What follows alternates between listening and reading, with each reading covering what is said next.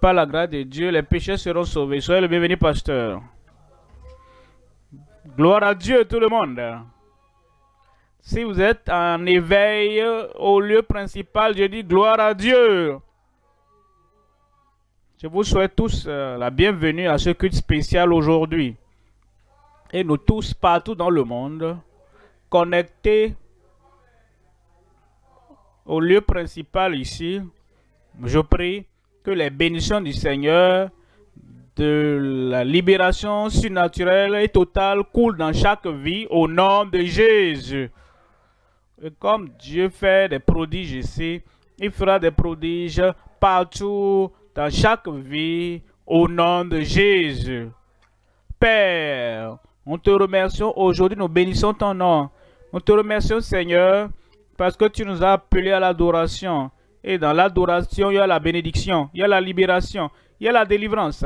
Et il y a la bénédiction débordante du ciel. Et nous prions Seigneur que tous ceux qui sont au culte d'adoration partout expérimentent la touche divine et la libération surnaturelle au nom de Jésus. Confirme tes bénédictions dans chaque vie.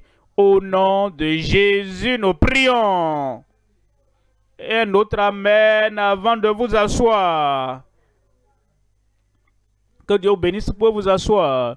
Aujourd'hui, nous sommes en Exode. Exode chapitre 3. Je vous lis le verset 7. Exode chapitre 3. Lisons le verset 7. On dit, l'Éternel dit, l'Éternel dit, et ce que Dieu dit alors, il le dit encore aujourd'hui, parce qu'on dit, je suis Dieu et je ne change pas. Et l'Éternel dit, l'Éternel dit, j'ai vu la souffrance de mon peuple qui est en Égypte. Et j'ai entendu, entendu les cris. Dieu a entendu tes cris. Dieu a vu tes larmes. Et il va effacer toutes les larmes au nom de Jésus. J'ai entendu les cris qui lui font pousser ses oppresseurs, car je connais ses, car je connais, car je connais ses douleurs. Et nous dit dans le verset 8, verset 8, il dit, je suis je suis descendu pour le délivrer de la main des Égyptiens et pour le faire monter de ce pays dans un bon pays, dans un bon et vaste pays, dans un pays où coule le lait et le miel. Tu vas dans un lieu meilleur. J'ai dit, tu iras dans un lieu meilleur. Verset 10 verset 10, il dit, maintenant va, je t'enverrai auprès de Pharaon, et tu feras sortir d'Égypte mon peuple, les enfants d'Israël. Hors d'Égypte, aujourd'hui, tu es hors, hors de toute fausse hors de tout lien, hors de toute calamité qui te suivait jusqu'à ce jour. Et dès que tu vas entrer au milieu de cette euh, nouvelle vie, nouvelle, nouvelle joie, nouvelle réalisation, parce que le Seigneur te fera sortir et te fait entrer dans le pays où coule le lait et le miel. Je reçois Exode 6, verset 30. Exode 6, verset 30.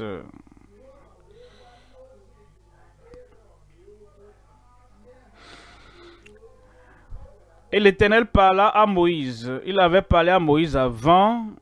Aaron maintenant s'est joint à lui. Et le message est le même. Exode 6, 13. L'Éternel parla à Moïse et Aaron. Moïse a commencé et Aaron s'est joint pour déclarer, proclamer et pour mettre l'accent sur la même chose qui avait été donnée à Moïse. Nous avons commencé et Dieu nous a donné le message de les faire sortir, de les conduire et de les conduire, de les faire entrer. Aaron peut se joindre un responsable, un pasteur national peut se joindre, un pasteur d'État, un pasteur, hmm, un ministre peut se joindre. Quand tu te joins, tel qu'Aaron s'est joint à Moïse, la même déclaration, la même parole. L'Éternel dit maintenant qu'il leur a donné une charge aux enfants d'Israël et à Pharaon. Il leur donna des ordres pour faire sortir du pays d'Égypte les enfants d'Israël. Vous voyez, il n'y a pas d'altération, il n'y a pas de modification, il n'y a pas de changement. Le même message donné au départ oh, pour faire entrer ce même message, le Seigneur le donne aujourd'hui et tout prédicateur qui suit la fondation qui a été posée, vous doit comprendre. Vous entrez, vous mettez l'accent pour prêcher, pour proclamer et déclarer ce même message hors du monde, hors du péché, hors des ténèbres, pour entrer dans la lumière glorieuse de l'évangile. Verset 26. Verset 26. Ce sont là, ce taron et ce Moïse, à qui l'Éternel dit, faites sortir du pays d'Égypte les enfants d'Israël selon leur armée. Nous sommes là tout au long de cette période, au temps de la croisade, au temps d'adoration, au moment de l'enseignement, pour la libération surnaturelle. Je suis là pour la libération surnaturelle. Et toi? J'ai dit et toi? Déclare cela. Je suis là, haute voix, répète-le. Pour la libération surnaturelle. Tu ne l'as pas encore eu, tu vas la voir maintenant. Le message que nous considérons est intitulé La libération surnaturelle à travers la foi scripturaire. Pensez à cela. La libération surnaturelle vont ensemble. Et c'est la fondation, c'est la fontaine de cela. C'est la forteresse que nous avons. Avec la foi scripturaire dans le Seigneur, chacun aura la libération surnaturelle. Nous considérons ceci en trois perspectives. Premièrement, premièrement, le fondement de la libération scripturaire par la foi. Tout est par la foi. Deuxièmement, la fontaine de la plénitude suffisante par la foi. Troisième point, la forteresse de la fortitude inébranlable. La forteresse de la fortitude inébranlable par la foi. Premier point. Premièrement, par la foi. Deuxièmement, par la foi. Troisièmement, par la foi. Nous revenons au premier point maintenant. Premier point le fondement. Que peux-tu construire sans la fondation? Où pourras-tu aller sans le fondement? Que peux-tu avoir sans le fondement? Nous avons besoin de la fondation. Et même dès le départ, le Seigneur a posé le fondement. Même en créant le monde, vous avez le fondement. Et si les fondements sont renversés, que feront les justes? Premier point donc, le fondement de la libération surnaturelle par la foi. Voyons en Exode au chapitre 12, verset 12. Exode 12, verset 12. Cette nuit-là, je passerai dans le pays d'Égypte cette nuit, et je frapperai tous les premiers-nés du pays d'Égypte depuis les hommes jusqu'aux animaux, et j'exercerai des jugements contre tous les dieux, toutes les idoles et toutes les superstitions d'Égypte. Je suis l'Éternel. Je suis l'Éternel. Il nous dit dans le verset 13, dans le verset 13, le sang vous servira de signe sur les maisons où vous serez.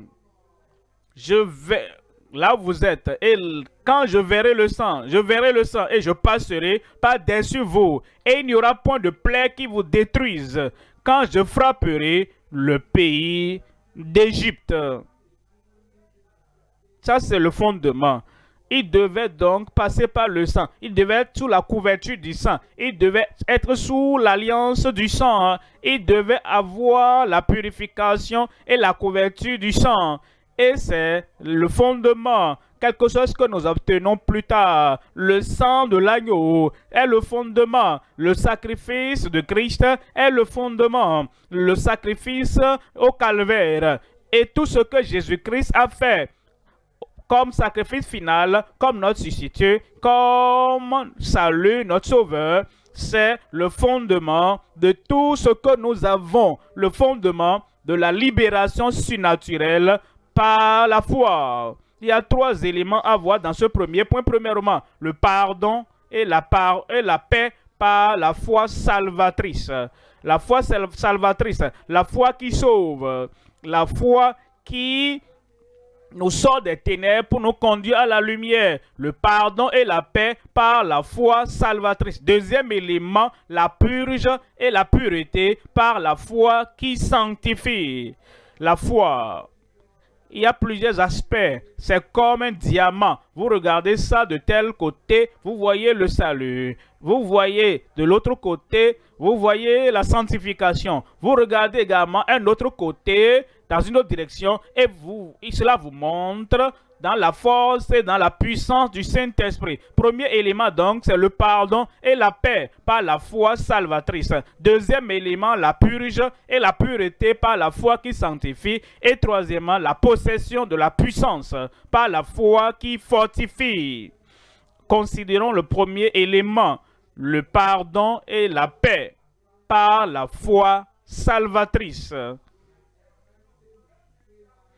quand vous venez au Seigneur, en vous détournant de vos péchés, et vous vous déplacez, vous, vous ôtez votre main, vos mains, vos yeux, vos bouches, vos oreilles, vous déplacez vos pieds, vous déplacez votre personnalité, vous déplacez votre totalité du péché et vous, vous, vous tournez votre dos au péché, c'est en ce moment-là que le pardon de Dieu et la paix de Dieu vous parvient.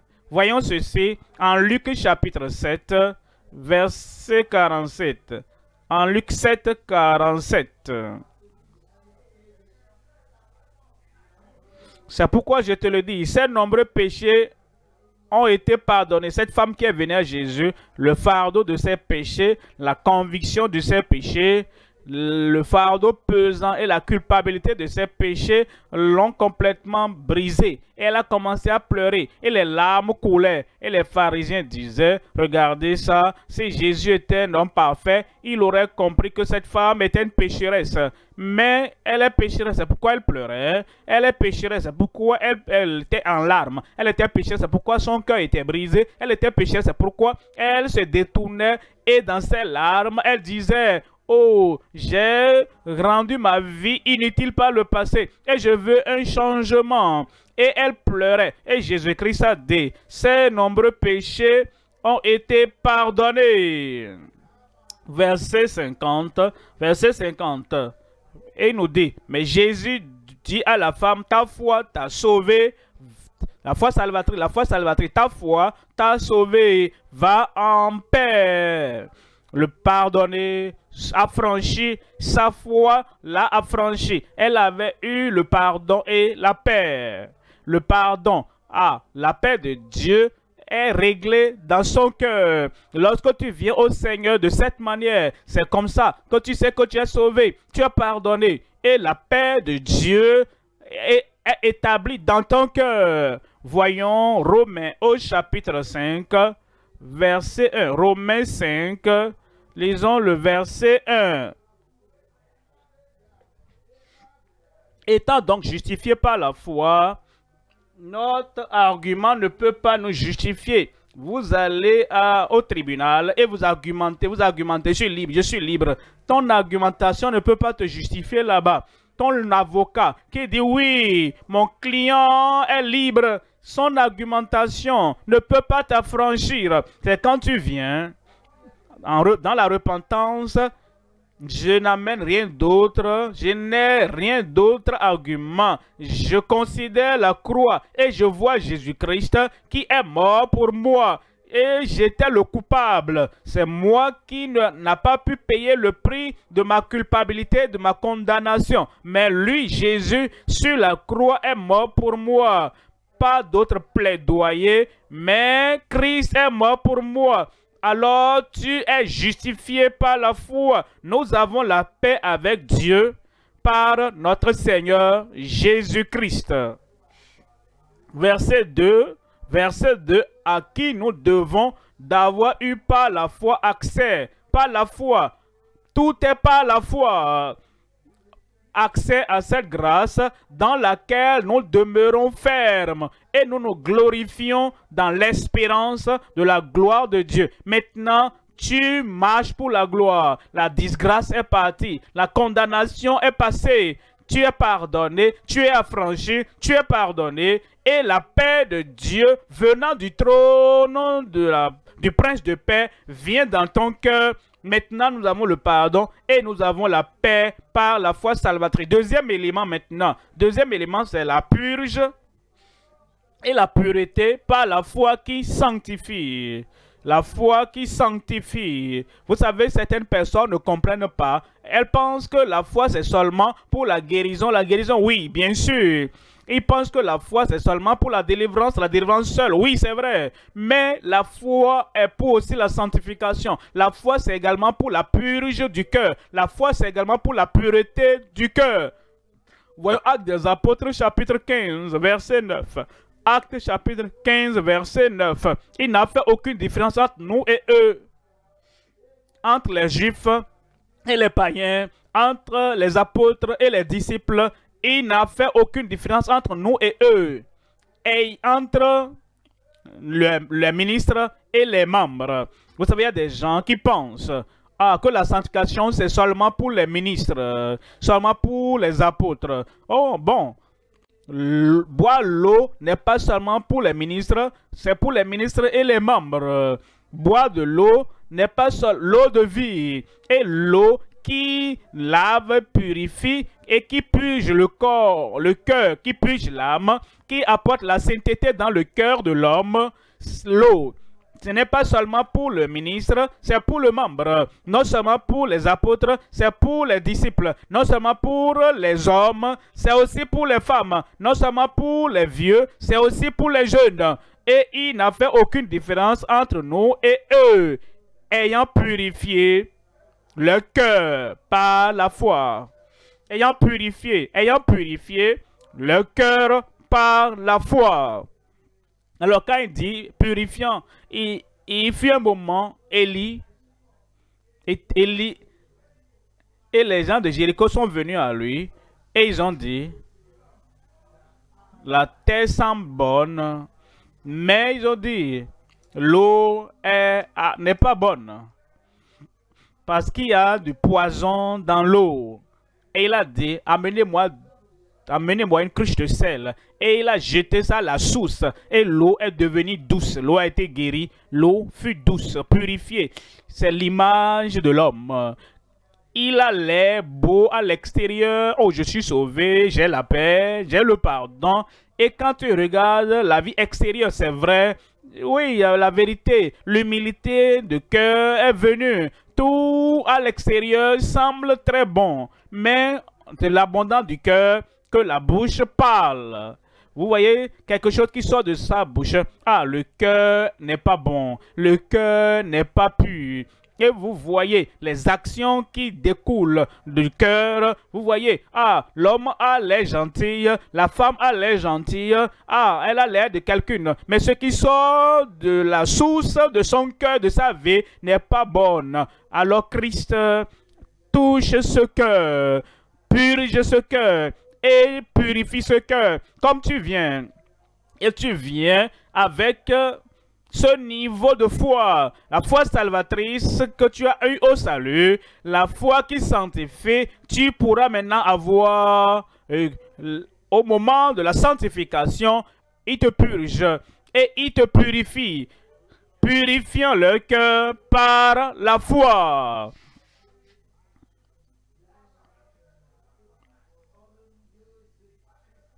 Acte des apôtres chapitre 26, verset 18. Afin que tu ouvres les yeux. Est-ce que c'était des hommes physiques? Non, il parlait des gens qui ont lu Isaïe, chapitre 53, et qui n'ont pas vu Jésus là-bas.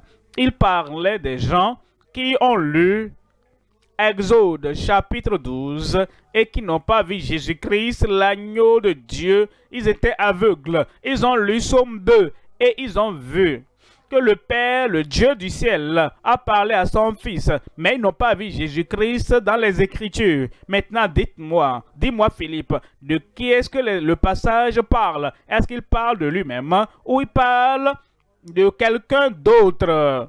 Et Philippe a ouvert sa bouche et par ce passage, lui annonça Jésus. Il y a des gens qui lisent leur Bible ils ne voient pas Jésus, notre sanctificateur. Il y a des gens qui lisent la Bible de page en page, mais qui ne voient pas Jésus-Christ comme celui qui purifie, comme celui qui raffine l'âme, et comme celui qui va nous transformer de l'intérieur à l'extérieur, de l'extérieur vers l'intérieur. Alors Dieu a envoyé l'apôtre Paul afin que tu ouvres les yeux comme tu ouvres les yeux, qu'il passe des ténèbres à la lumière et de la puissance de Satan à Dieu. Et pour qu'il reçoive, vous voyez cela, qu'il reçoive premièrement, qu'il reçoive pas le pardon des péchés, deuxièmement, et l'héritage avec les sanctifiés par la foi en moi.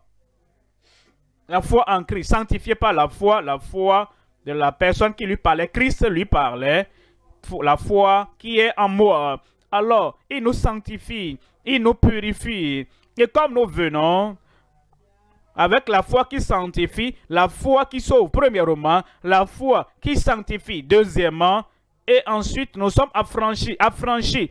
Premièrement, nous sommes affranchis de, des péchés extérieurs, des branches de l'arbre qui représentent le péché dans nos vies. Deuxièmement, nous sommes affranchis de du péché intérieur, du péché interne, de la dépravation du péché. Alors, là, surnaturellement, il nous dit en Éphésiens chapitre 5,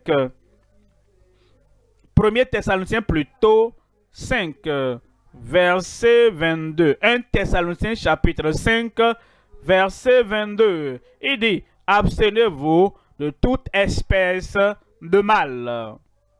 Vous êtes pardonnés vous avez la paix avec Dieu. Les choses sont différentes maintenant. depuis que je suis venu à Christ, si quelqu'un est en Christ, né de nouveau, on dit, il est une nouvelle créature. Les choses anciennes sont passées. Et vous ne pensez plus à ces choses. Vous ne planifiez plus ces choses. Vous n'allez pas dans cette direction. Même l'apparence du mal, l'espèce de péché ôté. Et dans le verset 23, verset 23, il dit que le Dieu de paix vous sanctifie lui-même. Le Dieu de paix, il vous donne la paix au salut, le pardon au, salut. Et maintenant, ce Dieu de paix qui vous donne la paix au moment du salut, vous sanctifie lui-même, tout entier, et que tout votre être, l'esprit, l'âme et le corps soient conservés irrépréhensibles lors de l'avènement jusqu'à l'avènement de notre Seigneur Jésus-Christ. Est-ce qu'il peut le faire? J'ai dit, est-ce qu'il peut le faire? Mon peuple d'or, j'ai dit, est-ce qu'il peut le faire? Verset 24, verset 24, celui qui vous a appelé est fidèle. Il vous, il a appelé au salut et il l'a fait. Il nous a appelé, il nous appelle maintenant à la sainteté. Il nous appelle à la pureté. Il nous appelle à la sanctification. Celui qui vous a appelé fidèle et c'est lui qui le fera. Il le fera dans chaque cœur. La paix et le pardon, il le fera. La purge et la pureté, il le fera. Troisièmement maintenant, c'est la possession de la puissance par la foi qui fortifie. La possession de la puissance par la foi qui fortifie. Quand la foi vient, nous sommes fortifiés. Il y a quelque chose d'autre. La crainte nous affaiblit. La crainte nous aveugle.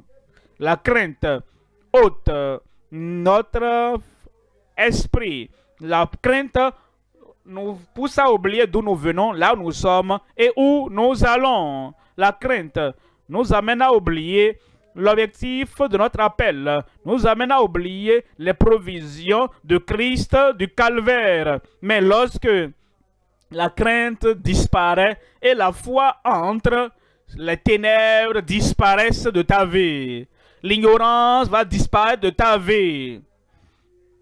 Et cette, palpitation du cœur, tu as peur. Est-ce que je peux prier? Est-ce que je peux chercher la promesse, la foi de Dieu? Est-ce que je peux posséder la promesse de Dieu?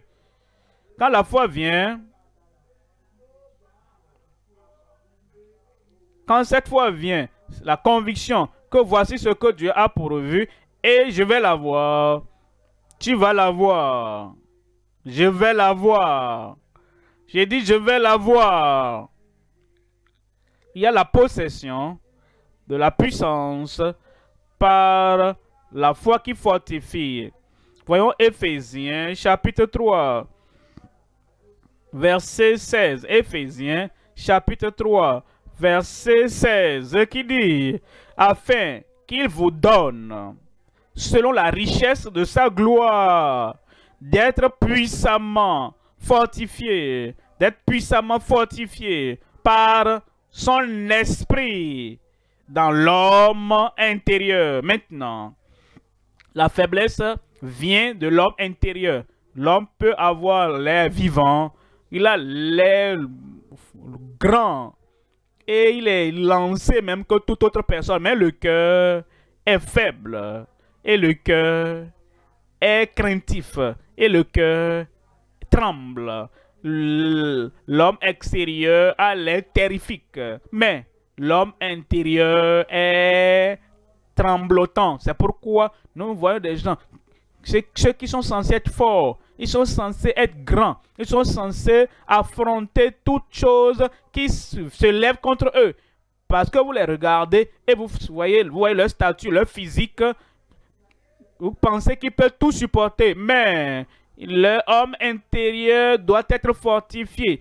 Et quand le Saint-Esprit, dans sa puissance, quand il vient à vous, vous êtes fortifié par la puissance, par son esprit dans l'homme intérieur. Voyez le verset 17 là-bas, verset 17, en sorte que Christ habite dans vos cœurs par la foi.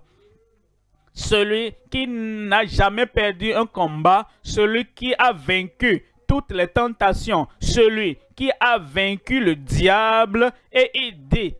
Tout est accompli afin que ce Christ vainqueur, ce Christ puissant, ce Christ qui n'a jamais perdu de combat, habite dans vos cœurs par la foi, afin qu'étant enraciné et fondé dans l'amour, vous puissiez comprendre avec tous les saints tout ce que Dieu a pourvu pour vous. Actes des Apôtres chapitre 1, verset 8.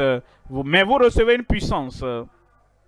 Le Saint-Esprit survenant sur vous. Acte 1, 8.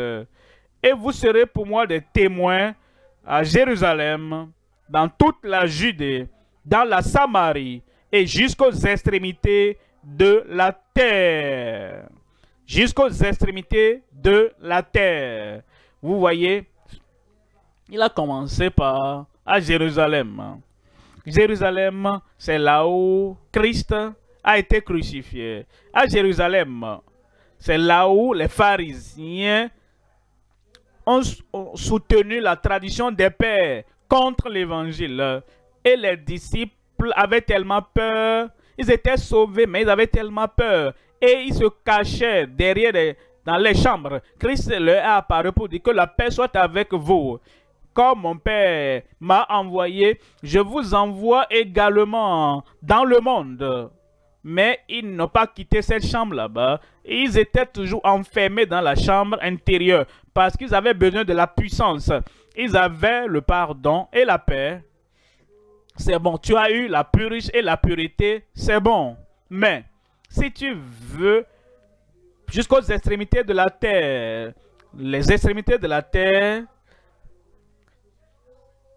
la main dont les disciples du premier siècle étaient menacés, ils étaient craintifs.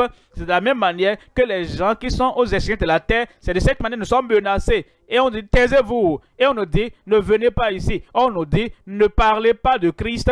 Et vous devez... Ils élèvent leurs traditions dans les extrémités de la terre, comme les gens avaient élevé les traditions. Si S'ils avaient réussi par la puissance du Saint-Esprit, c'est de cette manière que nous pouvons réussir aujourd'hui. Alors, vous recevez une puissance. Je vais recevoir une puissance. J'ai dit, je vais recevoir une puissance. Tu ne peux même, tu ne parles pas. Hein. Quand nous sommes avec les croyants et il n'y a pas de persécution, tu ne peux pas dire ça. Alors, pendant que nous sommes ici et que nous sommes ensemble dans la communion, quand tu seras dans le territoire de l'ennemi, comment peux-tu parler? Nous allons recevoir une puissance. Et de vous recevoir une puissance. Le Saint-Esprit survenant sur vous. Le plus faible des saints de Dieu, le plus faible des enfants de Dieu, quand la puissance du Saint-Esprit descend, il sera transformé en un autre homme et il aura la puissance surnaturelle pour aller affranchir les autres. Voyons chapitre 6, verset 8. Acte chapitre 6, verset 8. Chapitre 6, verset 8. Étienne plein de grâce et de puissance. Étienne plein de grâce et de puissance.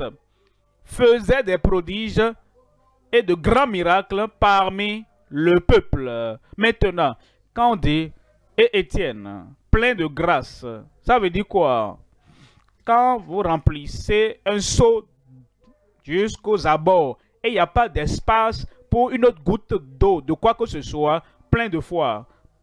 Si plein de foi, aucune, goutte de crainte, aucune crainte de goutte de timidité, d'appréhension, aucune goutte de quoi que ce soit. Quand le Seigneur vient te remplir de foi, la foi salvatrice, la foi qui sanctifie et la foi qui fortifie et t'amène à être puissant.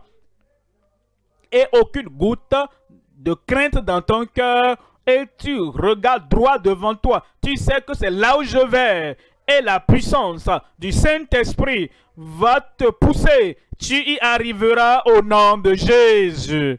Voyons Luc 24, verset 49. Luc 24, 49. Luc 24, 49. Voici, j'enverrai sur vous ce que mon Père a promis, mais vous restez dans la ville jusqu'à ce que vous soyez revêtus de la puissance d'en haut, jusqu'à ce que vous soyez revêtus de la puissance, jusqu'à ce que vous soyez remplis à débordement, saturés de la puissance d'en haut. Mais attendez, attendez, attendez. Les croyants de nos jours, ils ne savent pas attendre dans la présence du Seigneur. Une fois qu'ils entendent la prédication, et après la prédication, il y a un peu, une petite prière. Immédiatement, ils fuient pour aller chercher un bus, chercher un taxi, cherchent pour aller chercher leur moto, leur voiture. Ils, peut même, ils ne bougent même pas. Hein. Ils sont en train de bavarder seulement là. Mais au lieu d'attendre dans la présence de Dieu, ils n'arrivent pas pour que nous sachions, parce que c'est pour ceux qui attendent, ceux qui restent, c'est pour ceux qui sont fidèles. Cette puissance, c'est pour ceux-là qui comprennent que j'ai la paix, que j'ai le pardon, j'ai besoin de plus. J'ai eu la pluie, j'ai la pureté, mais j'en ai besoin de plus. Alors j'ai besoin de la possession de la puissance de Dieu qui pourra donc me porter et me conduire dans tout ce que je dois faire dans le service du Seigneur pour que je conduise des âmes dans le royaume. Restez dans la ville de Jérusalem jusqu'à ce que vous soyez revêtus de la puissance d'en haut. Deuxième point maintenant. Deuxième point, la fontaine de la plénitude suffisante par la foi.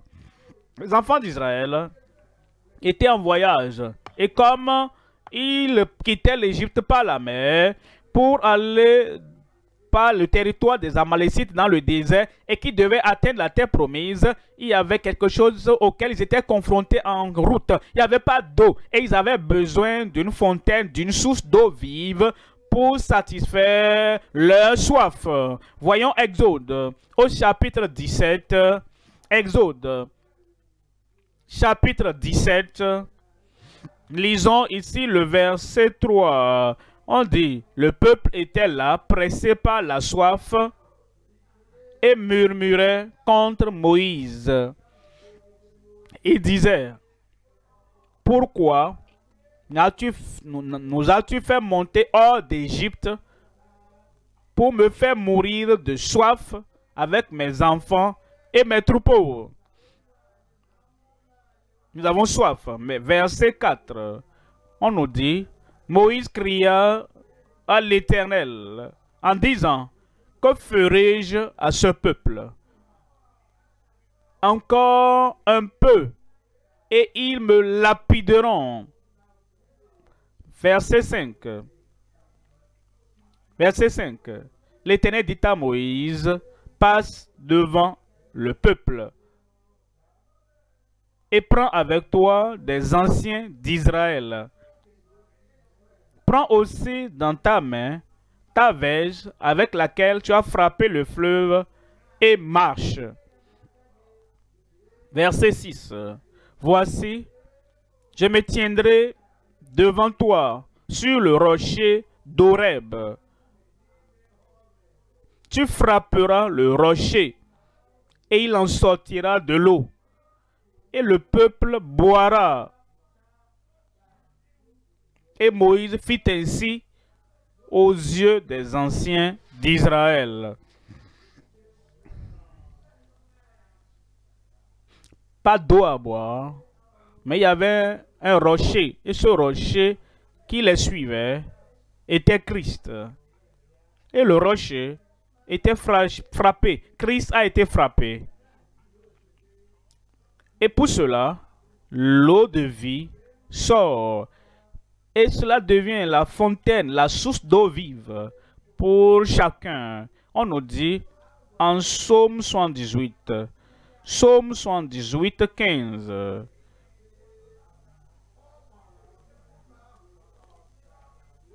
Il fendit des rochers dans le désert et il donna à boire comme des flots abondants. Abondant, verset 16.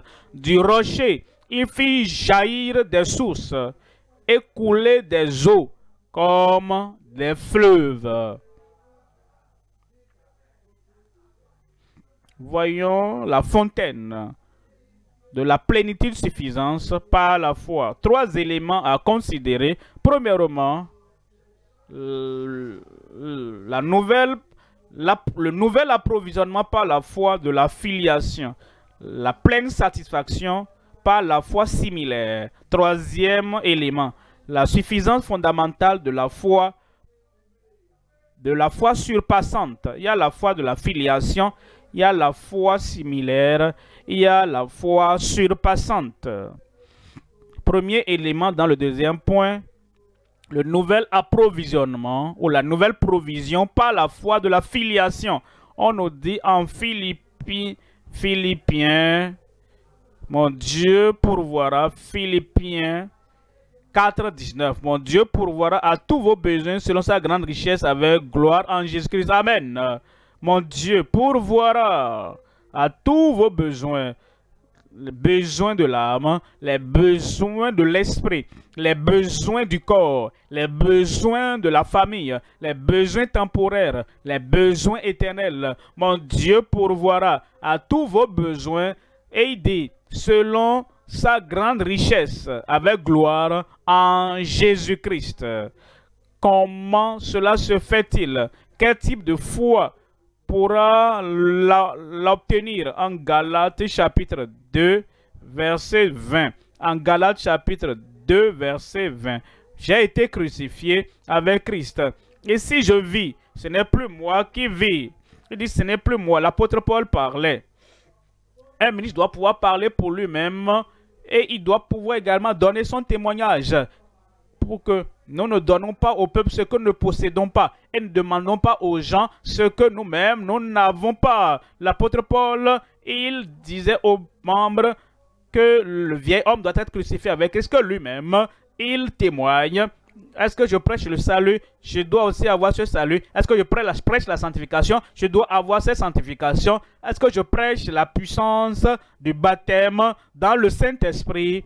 Vous devez avoir également cela. Est-ce que nous parlons de Christ, celui qui pourvoit à tous les besoins, celui qui fait toutes choses dans nos vies Ce que le prédicateur dit, le peuple doit demande au peuple d'avoir lui-même le prédicateur, lui-même le ministre, lui-même le proclamateur doit l'avoir. Tu dis aux autres d'être sauvés. Est-ce que tu es sauvé? Tu dis aux autres d'être juste. Est-ce que tu es juste? Tu enseignes la restitution. Tout ce que nous avons pris aux autres, nous devons leur retourner cela. Comme Zachée l'a fait. Est-ce que toi tu fais ta restitution? Ou bien tu trimbales un cœur coupable, un cœur condamné. Et chaque que tu vois cette personne, tu te sens coupable. Et tu es un ministre, tu es un prédicateur, tu es un enseignant de la parole de Dieu. Ce que nous déclarons aux autres, nous aussi, nous devons l'avoir. L'apôtre Paul dit, j'ai été crucifié avec Christ. Et si je vis, ce n'est plus moi qui vis. C'est Christ qui vit en moi. Si je vis maintenant dans la chair, je vis dans la foi au Fils de Dieu qui m'a aimé, la foi de la filiation. Je vis dans la foi au Fils de Dieu qui m'a aimé et qui s'est livré lui-même pour moi. Il va l'accomplir dans chaque vie au nom de Jésus. Voyons deuxième élément, deuxième élément, notre pleine satisfaction par la foi similaire. La foi similaire. Quand vous utilisez le mot similaire, vous dites, telle personne là-bas a ce type de foi. J'ai la foi comme celui-là, la foi similaire. Moïse avait ce type de foi. Moi aussi, j'ai la foi comme lui, la foi similaire. L'apôtre Paul a ce type de foi. Moi aussi, j'ai une foi comme cela, la foi similaire. Deuxièmement, notre pleine satisfaction par la foi similaire. Quel, quel type de foi avait-il? Comment avait-il la plénitude de la satisfaction? En 2 Corinthiens chapitre 4, lisons le verset 13. Et comme nous avons le même esprit de foi, la foi similaire, qui est exprimé dans cette parole de l'Écriture. J'ai cru, c'est pourquoi j'ai parlé. J'ai parlé et il dit, nous aussi, nous croyons et c'est pour cela que nous parlons. La foi similaire, le même type de foi qu'ils avaient à l'époque. Si Dieu n'a pas changé, et si les problèmes sont toujours là, les problèmes n'ont pas changé, ceux qui vont recevoir la solution à leurs problèmes, ils doivent avoir le même type de foi que ces gens d'antan avaient. Ils avaient cru. C'est pourquoi ils ont parlé. Nous aussi, nous croyons et c'est pour cela que nous parlons. Romains chapitre 4, verset 12. Romains 4, verset 12. Romains 4, 12.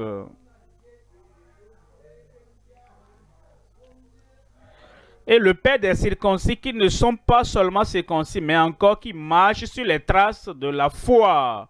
La foi similaire il marche sur les traces de la foi de notre Père Abraham quand il était incirconcis. Verset 17. Verset 17. Je t'ai établi.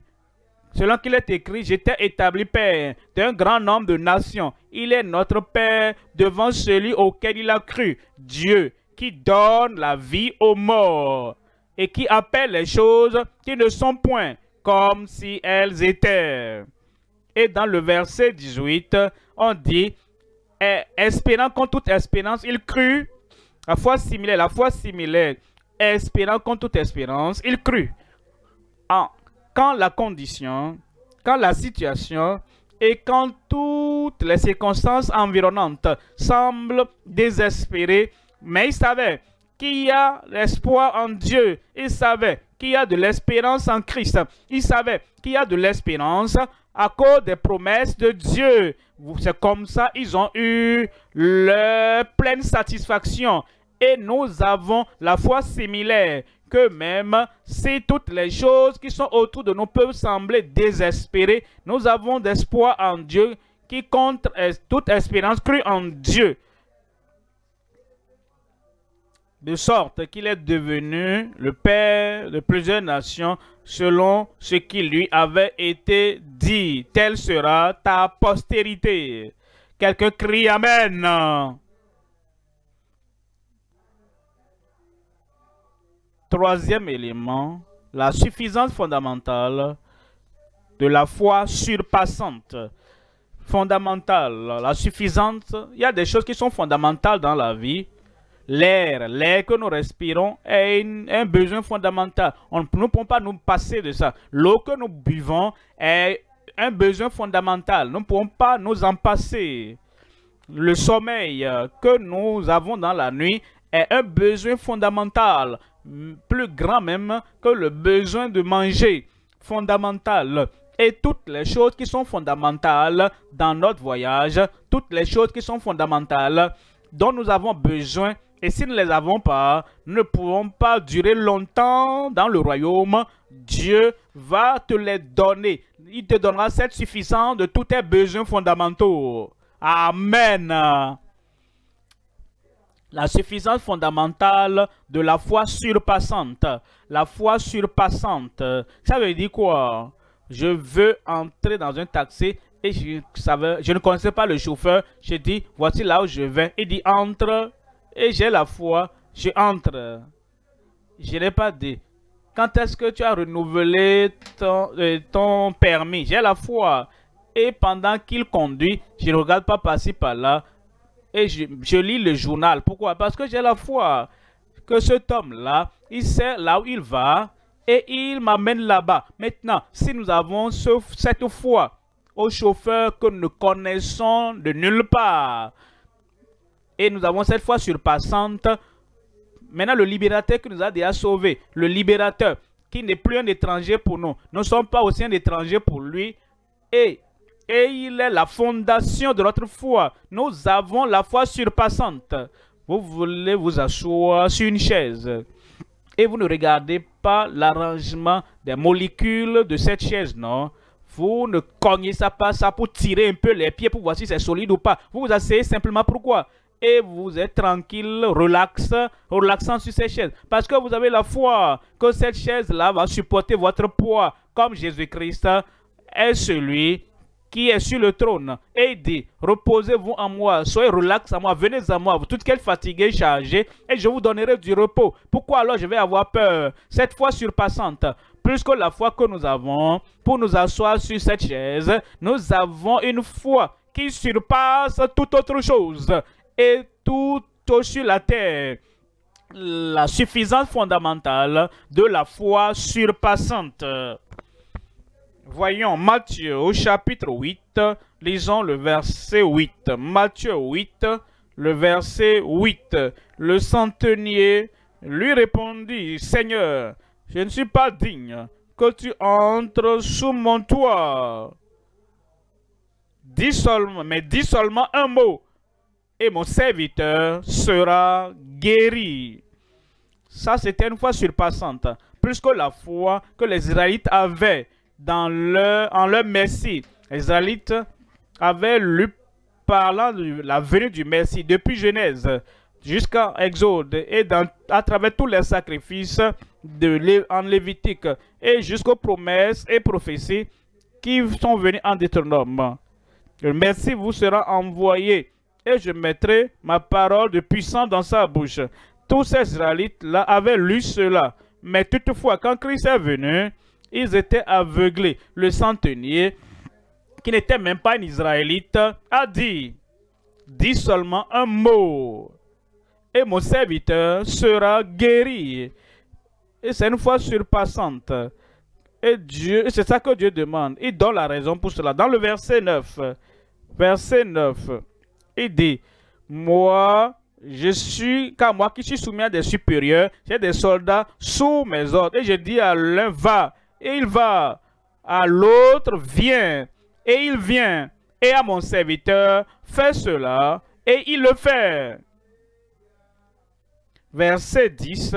Après l'avoir entendu, Jésus fut dans l'étonnement. Il fut dans l'étonnement et il dit à ceux qui le suivaient, je vous le dis en vérité, même en Israël, je n'ai pas trouvé une aussi grande foi. Même pas en Israël. Amen. Quand Dieu te donne ce type de foi, cette foi surpassante, tout ce que tu demandes sera fait au nom de Jésus. Tous mes besoins sont pourvus. Toutes mes prières sont exaucées. Toutes tes prières sont exaucées au nom de Jésus. Je veux que nous voyons chapitre 15, Matthieu 15, verset 22. Matthieu 15, 22. Et voici une femme cananéenne qui venait de ces contrées, lui cria, Aie pitié de moi, Seigneur, fils de David. Ma fille est cruellement tourmentée par le démon. Verset 23. Il ne lui répondit pas un mot. Et ses disciples s'approchèrent et lui dirent avec instance, renvoie-la, car elle crie derrière nous. Et la femme pouvait l'entendre, parce que ses disciples, ils avaient agi comme des gardes du corps qui protégeaient le maître. Et ils sont venus dire à Jésus, ne l'écoute pas, elle crie beaucoup. Elle a un problème pour notre sérénité, notre Père. Jésus s'est tué et la femme n'a pas abandonné. Je ne vais pas abandonner non plus. Verset 24. Verset 24. Il répondit, je n'ai pas été envoyé, je n'ai été envoyé qu'aux brebis perdues de la maison d'Israël. Ah, c'est vrai ça. Verset 25. Verset 25. Mais elle vint se prosterner devant lui ans, elle avait agi comme si elle n'avait même pas entendu toutes ces choses qui semblaient négatives. Renvoie-la, négative. Elle crie, elle une femme bruyante. Renvoie-la, négatif. Je n'ai pas été qu'envoyé qu'au brebis perdu de la maison d'Israël, négatif. Apparemment, mais après tout cela, toutes ces choses négatives n'ont pas atteint son cœur. Et elle est venue se prosterner devant lui. Elle ne s'est pas fâchée. Certains demandent la prière. Et si, vous si, leur tour ne vient pas à temps, ils sont en colère. Certaines personnes sont frustrées. Si vous ne les répondez pas au moment où ils veulent, ils sont frustrés. Et ils paniquent. Et ils pleurent. Et ils crient. Mais vous savez, la femme, elle a dit Seigneur. Elle a toujours appelé Seigneur. D'accord je l'appelais Seigneur, je le respectais, je le, je le plaçais très haut là-bas. Maintenant, il, il n'a même, ne s'est même pas occupé de moi tel que je veux au moment où je voulais. Il n'est plus, il n'y a plus de respect. Mais la femme est venue dire Seigneur, secoue-moi. Verset 26, verset 26, il répondit et dit, il n'est pas bien, n'est pas juste de prendre le pain des enfants et de le jeter au petit chien. Vous connaissez ce que ça veut dire? Une païenne, un chien sale, souillé. Et tu veux que moi je prenne le, prenne le pain des enfants, la délivrance, la guérison qui appartient aux enfants d'Israël, aux enfants, et que je te le donne? Non, ce n'est pas juste. La femme pouvait dire, même Jésus, regarde même comment il me condamne. Elle l'avait dit appeler Seigneur. Et le Seigneur a le droit de te dire en face qui tu es, comment tu es et ce qu'est ta vie. Et la femme a compris. Voyez le verset 27. Verset 27, elle répondit, oui Seigneur, dit-elle. Je ne peux pas t'accuser de me mentir. Tu me connais depuis mon cœur, depuis mon arrière-plan, de mon style de vie. Tu connais mes traditions, tu connais mes superstitions et tu connais mon caractère. Oui, Seigneur, je suis vraiment un, chien venant des païens, mais je vais pour ta miséricorde. Oui, Seigneur, dit-elle, mais les petits chiens mangent les miettes qui tombent de la table de leur maître. Voyez le verset 28, verset 28. Alors Jésus lui dit, Femme, ta foi est grande, qu'il te soit fait. Un test lui est arrivé, elle a réussi au test. Tu vas réussir à ton test. Et Jésus lui dit, tu as une foi surpassante. Et si, cela, et si c'est ton tour qui venait, et tu veux voir l'homme de Dieu, et tu dis, voici mon problème. Et le pasteur te dit, ah, toi aussi parmi les gens, toutes les prières qu'on a fait, les aveugles l'ont vu, les paralytiques ont marché, et même ceux qui ont des bosses au dos, Dieu a enlevé ça. Tu n'as pas entendu les témoignages, vas-y. Le pasteur n'a plus de temps. S'il doit prier pour chaque personne là, combien de personnes, vas-y et ils sont offensés, tristes, et tu es gonflé de colère, et maintenant, tout, même tes, tes, paupières sont en train de vouloir gicler, viens, viens, viens, viens. Non, non, non, je ne veux plus. Prenez votre pasteur, gardez votre pasteur là-bas, je ne veux plus. C'est votre organisateur, gardez-le, je ne veux plus rien. Tu ne seras pas comme ça au nom de Jésus. Vous voyez, Jésus a dit, femme, ta foi est grande, qu'il te soit fait comme tu veux. Et à l'heure même, sa fille fut guérie. Ça, c'est la foi surpassante. Et ça va t'arriver dans ta vie au nom de Jésus. Troisième point maintenant. Troisième point, la forteresse de la fortitude inébranlable par la foi. La fortitude, la fortitude, vous savez, la forteresse est comme une cage, comme une montagne. Et vous entrez dans cette forteresse, tout, toutes les, la pluie qui tombe ne vous affectera pas. Tous les animaux sauvages qui sont autour de cette cage ne peuvent pas vous affecter. C'est une forteresse et vous y êtes entré parce que vous avez une fortitude inébranlable. La fortitude, c'est le courage. La pensée qui n'est pas ébranlée. Une pensée qui n'est pas secouée, un désir qui n'est pas ébranlé. Et vous dites, je suis là. Regardez Goliath qui vient. Viens. Je t'attends. La fortitude. Regardez la fosse au lion. Si tu pries pendant 30 jours, à moins que ce soit au roi que tu adresses ta prière, on te jettera dans la fosse au lion. Fortitude, me voici, je vais prier. Si tu ne fléchis pas devant l'idole du village et l'idole de gang et l'idole de l'occulte, des occultes, tu verras le feu. Tu n'as pas, tu n'as rien vu, tu verras. Tu as la fortitude. Tu es là et rien ne va te secouer t'ébranler dans ta foi que tu as au Seigneur au nom de Jésus. Que le vent souffle, que les nuages montent, que les tonnerres tonnent, que tout se passe. Une personne qui a la fortitude va demeurer là et rien de l'enfer ne pourra t'ébranler au nom de Jésus. Alors, il y a un type de foi, il y a un type de foi qui te donne ce type de courage, qui te donne ce type de force, qui te donne ce type de courage, d'audace et de fortitude. Alors, le Seigneur, parce qu'une forteresse, il est une forteresse pour toi. La protection sera pour toi. Et tout ce, tout ce dont tu as besoin dans la vie, parce que quand les autres fuient, et quand les autres ont dit, ah, ça c'est trop pour eux, toi tu es toujours là. Je suis toujours là. Je suis toujours là. Peu importe l'eau qui passe sous le pont, moi, je suis toujours là. Peu importe les murailles de Jéricho qui m'environnent et qui semblent impossibles comme situation, je serai toujours là. Est-ce que quelqu'un là-bas, j'ai dit, est-ce que quelqu'un qui est toujours là-bas, tu vas demeurer fidèle jusqu'à la fin au nom de Jésus.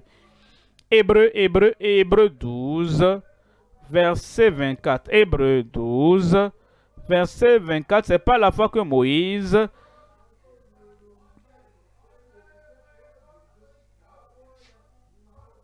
C'est pas la fois que Moïse, Matthieu, Hébreu 11, 24. C'est pas la foi que Moïse, devenu grand, refusait d'être appelé fils de la fille de Pharaon, aimant mieux être maltraité avec le peuple de Dieu. Pourquoi Moïse a-t-il choisi souffrir avec le peuple de Dieu? Vous savez, l'affliction, c'est comme le feu. Il y a des cordes qui me liaient. Il y a certaines choses qui le retenaient. Il y a certaines, certaines bandes qui l'aveuglaient. Il dit, je vais passer par cette maltraitance pour que le feu de l'affliction ôte toutes les bandes, ôte toutes les choses qui font de moi comme un efféminé et qui ne me permettent pas d'avoir de colonne vertébrale. Je cherche la force. Je rentre dans ce feu de, et tout le feu d'affliction va brûler toutes ces choses.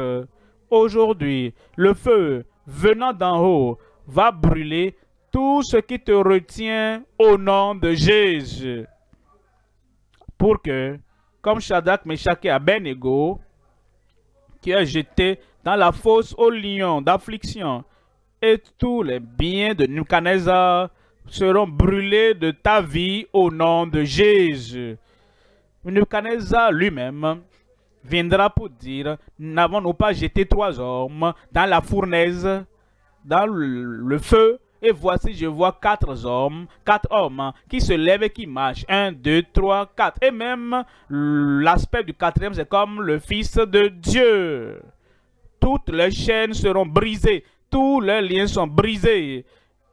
Parce qu'ils n'ont pas fléchi devant l'idole de Mekaneza. Ils ont dit, vous allez brûler. Non, nous on ne brûle pas. Ce sont tes biens avec lesquels tu nous as liés qui vont brûler.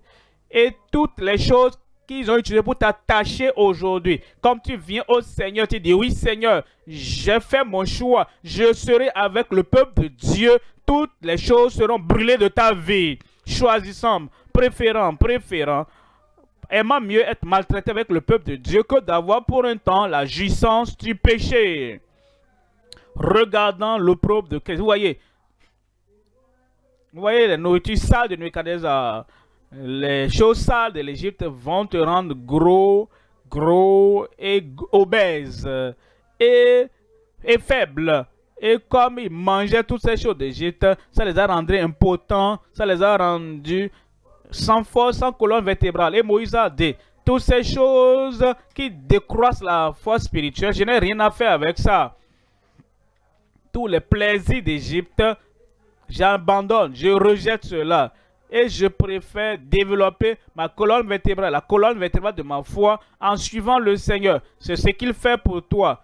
Quand tu cesses d'écouter ce qu'il dit dans le monde, de manger ce qu'il mange dans le monde, de boire ce qu'ils boivent dans le monde, et tu as le tu refuses le plaisir qu'ils ont dans le monde, toutes les choses sales qui, qui t'affaiblissent et te rendent faible, toutes ces choses sont ôtées Maintenant tu es fort au nom de Jésus. Dans le verset 26, regardant l'opprobre de Christ comme une richesse plus grande que les trésors de l'Égypte, car il avait les yeux fixés sur la rémunération.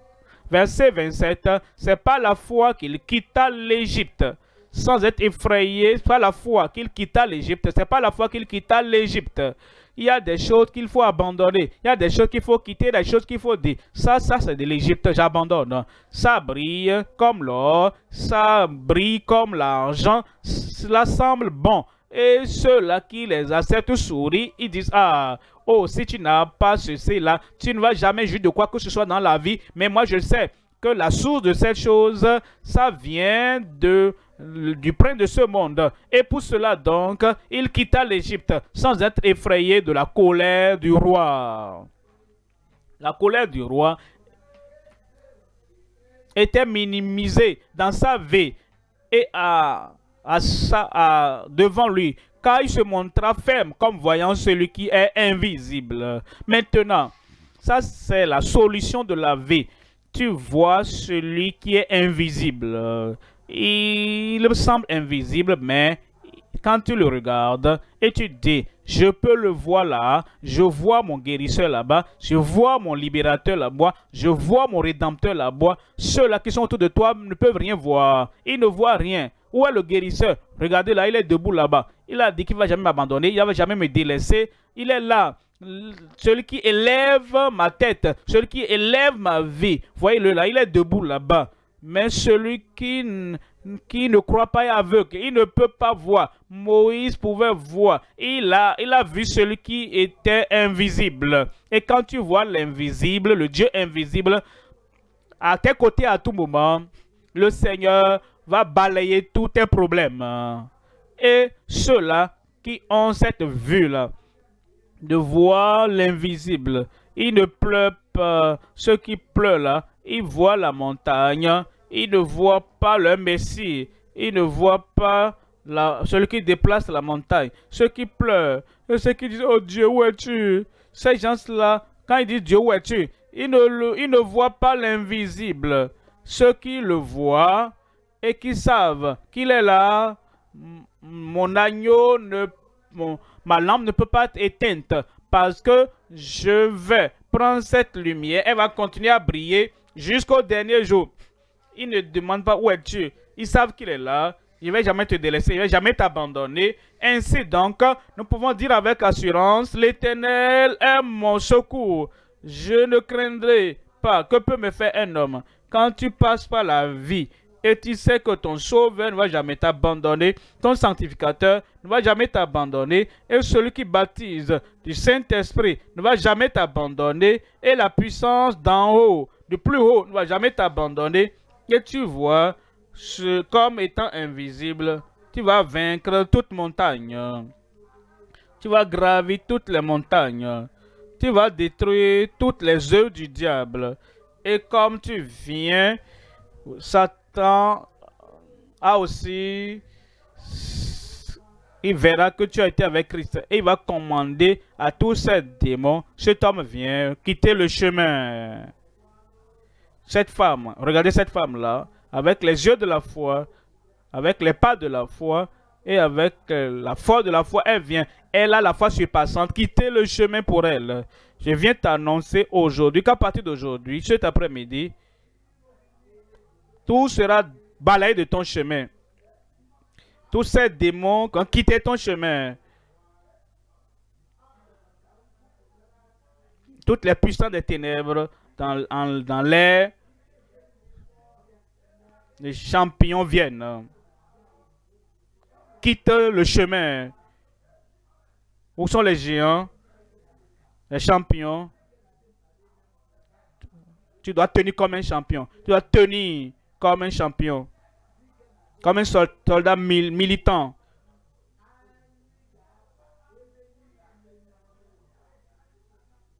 Le géant. Le champion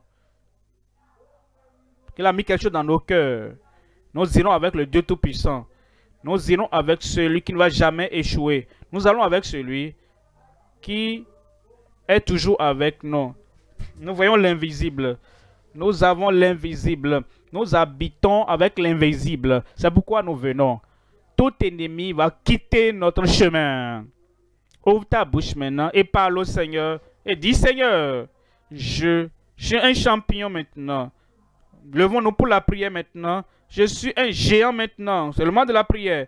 Et rien ne pourra me renvoyer du chemin de la justice. Les géants viennent. Que tous ces démons, toutes ces puissances, qu'ils quittent le chemin ou la bouche et parlent au Seigneur dans la prière.